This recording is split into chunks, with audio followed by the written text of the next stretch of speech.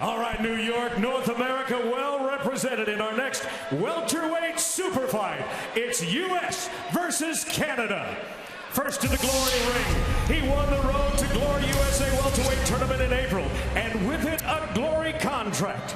Please welcome Francois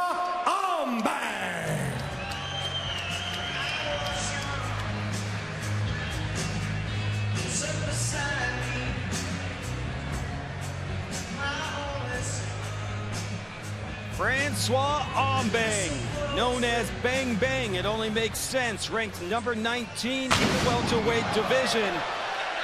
I tried to time it. That was the bang I was referring to. Yeah, but Ron, you got to admit, that woke you up. Uh, he's very aggressive. Ambang is a southpaw, powerful punches and kicks. But we we noticed this when we talked to him. He's really motivated for this fight. Yes, he is. Ambang is a mixed martial artist, a boxer, and a kickboxer, an all-around busy man. The winner of the eight-man developmental Road to Glory USA welterweight tournament in March.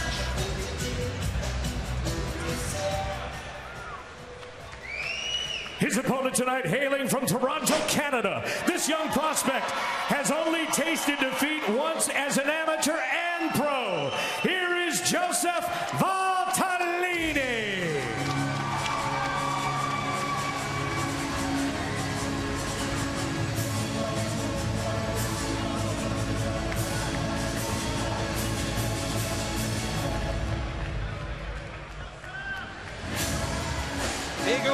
ovation here in New York City for that man, Joseph Valtellini, ranked number eight in the Glory welterweight rankings. For the latest on the welterweight rankings, check out GloryWorldSeries.com or our Facebook page, Glory Sports International. We also want to hear from you on Twitter at hashtag Glory9. We are set for this super fight between Valtellini and Ambang. We check out the numbers for this welterweight matchup. Both these guys are young and hungry, and the experience is close on paper. But other than the fact that Valtellini has more KOs, more wins by KO, uh, he is definitely past the birth of fire by fighting in a major glory show before Ong Bang has. All right, ladies and gentlemen, we next turn our attention to the welterweight ranks of glory for this super fight scheduled for three three-minute rounds. Introducing first, fighting out of the blue corner, originally from Cameroon, he now calls New York City home and is known for his speed and power. Record, 10 wins with two losses at 1.80 meters, 5 feet 11 inches tall, and weighing in at 76.7 kilos, 169 pounds, representing the United States of America. He is Francois.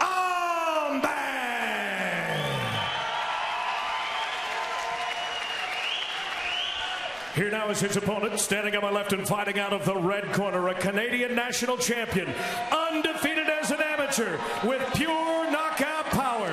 His record, eight wins with just one loss, seven of those eight wins by knockout. At 1.80 meters, 5 feet 11 inches tall, he weighed in at 77.7 kilos, 171 pounds. Representing Canada and ranked number eight in the world, here is Bazooka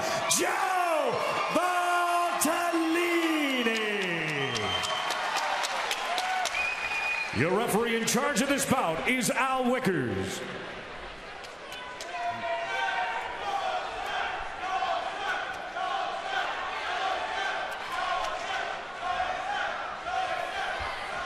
Okay, guys, let's have a good, clean fight. Protect yourself at all times. Obey my commands at all times. Fight clean, fight hard. Remember, in case of a knockdown, you go to to neutral quarters while I tell you to continue. Any questions, fighters? Back up. Have a good fight.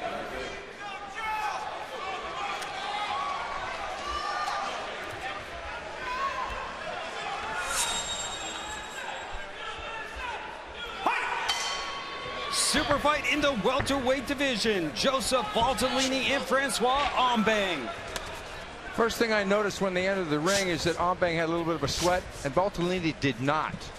Meaning that Valtellini may want to warm up here in the first round, but if uh, Ambang can seize upon that, he can just jump on him and do some damage.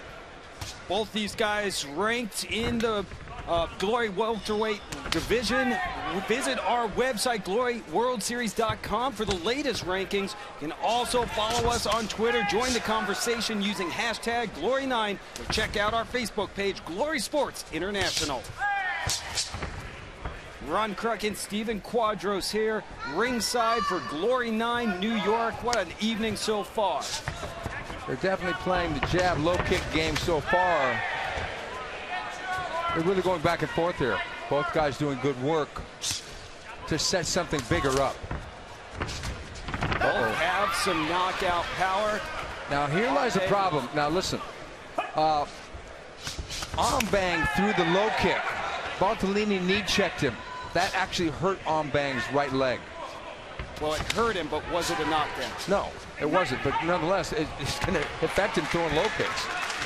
This fight goes on, it sure will. Here comes Valtellini with a couple counters. Another low kick there from Valtellini.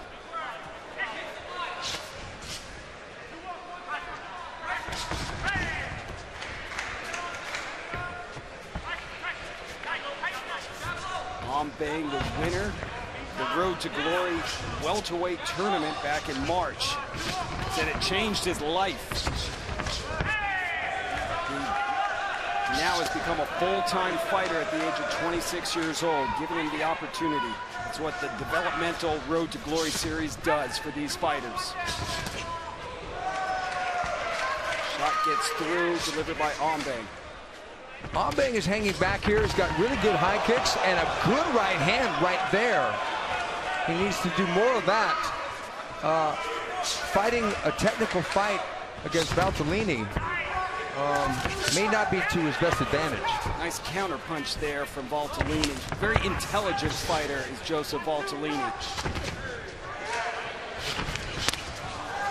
That right hand of Ambang is, an, is always there. Fighters exchanging.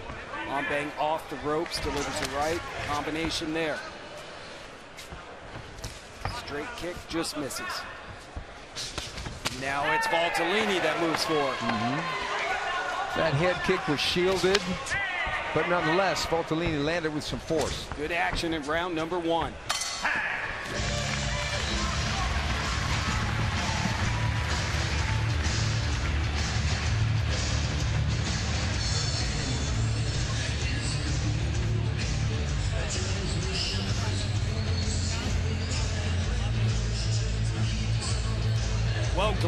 9 rolls on from here in New York City. The first time the Glory World Series has visited the States. When you throw a low kick uh, and you knee check it like that, that really hurts your shin. And Ambang, you know, he suffered a little bit for that. But uh, Valtellini coming in raging, but he ate an overhand right as a result. Left that left hand down after he threw that hook. Success with the counter from Ambang there. Coming off the ropes. Back up back up, back up,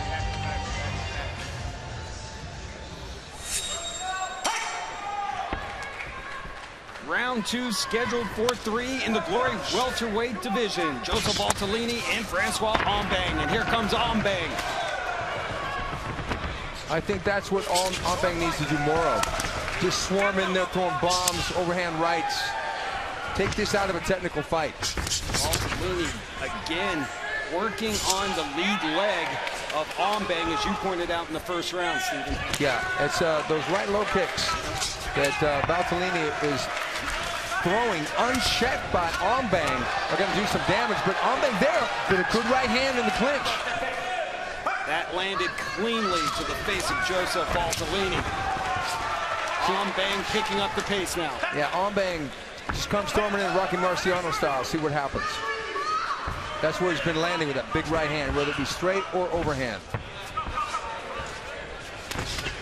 Bang, a very powerful, aggressive fighter. Nice counter there you know, that's one of the things in the spin through. If you miss a kick and you spin around, the guy could be waiting for you with a punch combination. So of course, Ambang had his shield up, and those didn't land firmly by Valtellini.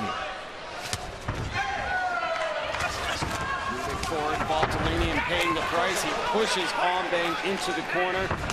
Body shot delivered by Ambang. Valtellini has got to find an answer for that right hand that Ambang is landing on more than occasion. The left hook by Valtellini landed there well. Oh. Just misses with the spinning back fist. You're right, Joseph Valtellini. Now pouring it on. He might have hurt him. He gets Yeah. a hook through. Yeah, no, uh, right now something is wrong, uh, whether it be the cardiovascular is starting to fail. Ambang, Ambang is starting to fade. Oh, Low kick there. right at the middle. Thank, thank the Lord for the tie cut. Under one minute to go. Valtellini continues to destroy that lead leg of Ambang. Another shot. Ambang is starting to drop that left hand as they go to the ropes. Expect the right hand straight from Valtellini at any moment. There it There is. it is. And good combination follows it up with a kick. Seems like the tide has turned in this second round in favor of Joseph Valtellini. And Valtellini's really having his way here. Really pushing Ambang onto the ropes. Didn't set up that spinning heel kick very There well. he goes. But Ambang took that left hook. I think it wobbled him. The ropes helped him there. 10 seconds to go. Joseph Valtellini taking control of round number two. He's turning that uh, front leg of Ambang into sausage with those low kicks.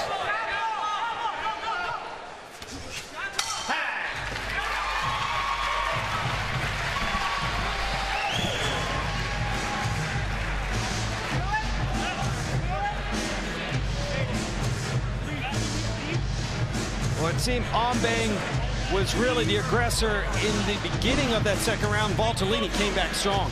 Yeah, he really did. Like, for instance, here he counters, uh, but Ambang shielded well, but nonetheless he was getting pushed back. And Valtellini really starts to find his distancing, his timing.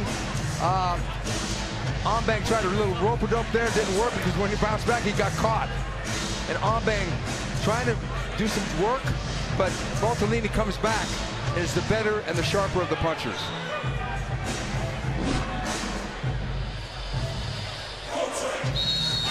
Paul Minhas, Valtellini's trainer, giving him last minute instructions over here to Ong Bang. Third and final round. Stephen, how do you have this one scored? Well, the first round was kind of close. I still gave it to Valtellini. Definitely Valtellini won the second round. So I've got Ambang needs something really big here to make things happen. You know, he's done pretty good in this fight because Valtellini, he basically wrecked Murat Direkci, who's a legend in Europe in his last fight. But uh, Ambang has done extremely well on his own right. But look, see, he's switching to southpaw now because that, that front leg is toast right now. That lead leg of Francois Ambang has taken a beating. High kick delivered from Valtellini. Nice counter, though, from Ambang. Yeah, because of that front leg. Oh, Oh, he almost You know knocked what? him down. one more low kick. If he loads up and lands it, this fight very well could be over. Ambang can't even put any weight on it, and You know- just like that, You know what? down goes Francois Ambang with another low kick to the lead leg of Francois Ambang. Al Wickers may very well call this. If he can't walk out, there it is. That's gonna do it. You mentioned it in the first round, Stephen Joseph Valtellini was going to work on the lead leg of Francois Ambang, continued to deliver blows.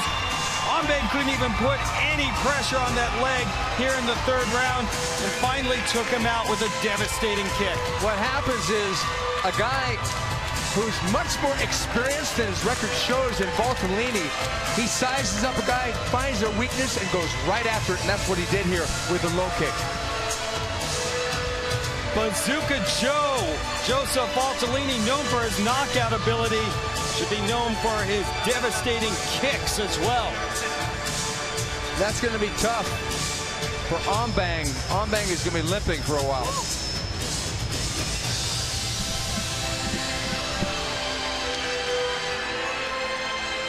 As they say in Muay Thai, you got to go low, low, low. Meaning that they want, to, they want you to throw the roundhouse kick at that front leg. And here's why he's limping. See, he planted the leg. I don't think he checked a single low kick in this whole fight. And he, Valtellini knew. And two more low kicks and this fight was over. It's very, very painful. That is extremely painful. He's hitting right above the knee and just chopping the tree down. You can't stand, you can't punch. And timber goes Francois Ambang. Impressive performance from Joseph Valtellini, who improves to 9 and 1. He entered into this fight ranked number 8 in the welterweight division. Game effort by Ambang. Yeah, Ambang got up, but he couldn't continue.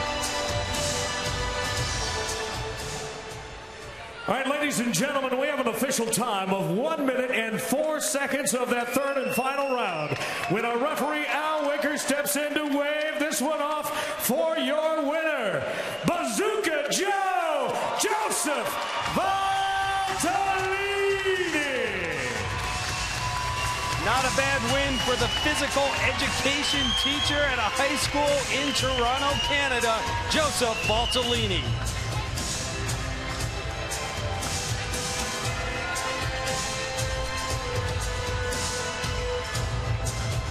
And with the win, Joseph Valtellini moves up one spot in our Glory welterweight rankings. Not a surprise as Francois Ambang came in as the number 19 welterweight. And the system is based on performance. Points are added for victories and deducted for losses.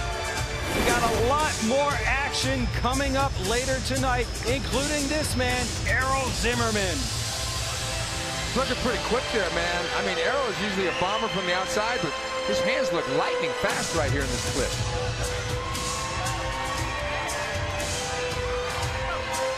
And of course, we still have the semifinals of the tournament coming up. I just got word the ringside doctor has cleared all our fighters. They will be moving on to the semis. But before that,